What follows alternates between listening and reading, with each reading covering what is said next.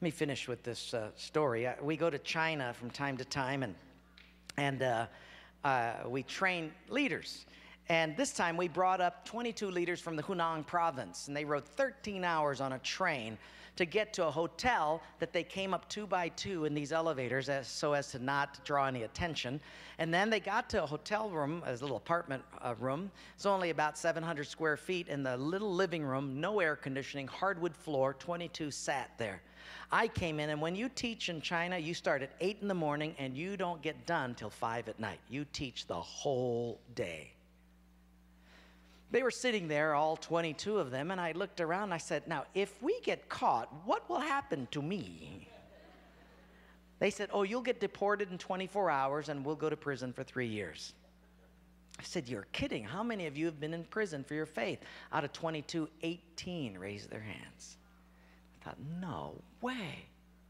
I looked at him and I said, you, you 22 people, how many people do you oversee? Because they were all of these small group leaders, underground church leaders in the Hunan province. I said, How many, if you counted up all the people under your jurisdiction, how many would it be?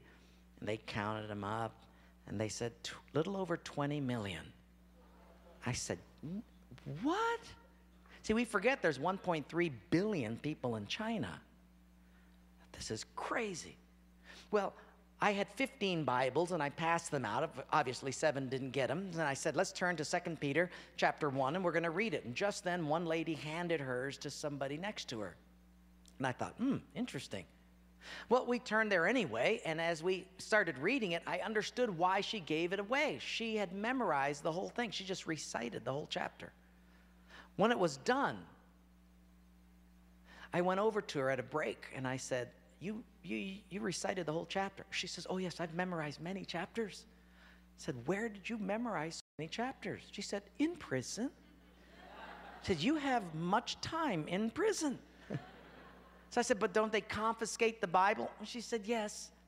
So people bring in scriptures written on pieces of paper and they bring it in.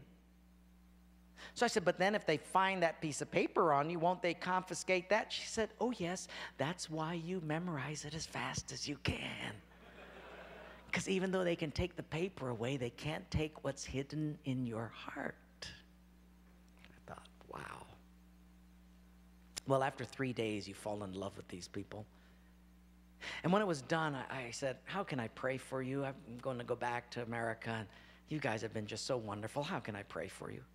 They said, You know, Wayne, you guys can gather like this whenever you want to in America. We can't. Could you pray that one day we'll be just like you? And I looked at him and I said, I will not do that. Big, incredulous eyes looked at me and they said, Why? I said, Because you guys rode a train for 13 hours to get here. In my country, if you've got to drive more than an hour, people don't come. You sat on a wooden floor for three days. In my country, if people have to sit more than 40 minutes, they leave. You sat not only here for three days on a hard wooden floor, but you did it without air conditioning. In my country, if it's not padded pews and air conditioning, people don't often come back. In my country, we have an average of two Bibles per family. We don't read any of them